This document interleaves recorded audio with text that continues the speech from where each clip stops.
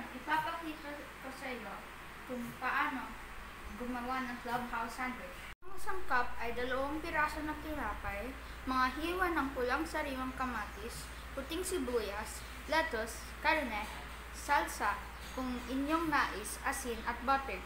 Ang mga kakailangan ang mga kakailanganing gamit ay kawali, pangluto, kutsilyo panghiwa sa mga sangkap at plat- platito na lalagyan ng clubhouse sandwich. Ngayon, maaari na tayong magsimula.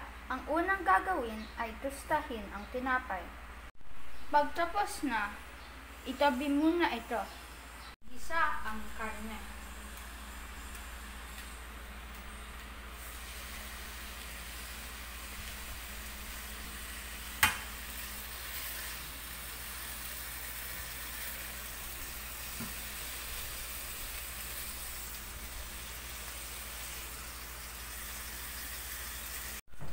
Sunod, hugasan ang lettuce, kamatis at sibuyas.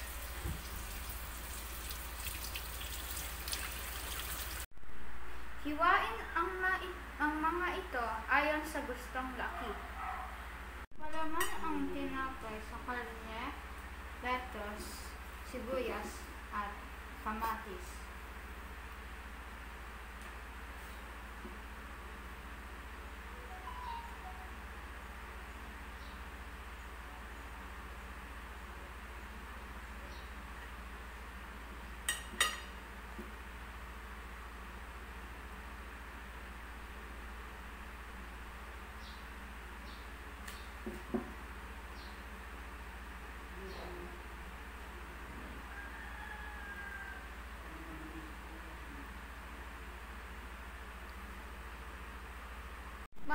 upang sundin ang proseso nito upang maging masarap ang kalalabasan ng iyong clubhouse sandwich. Ngayon, alam mo na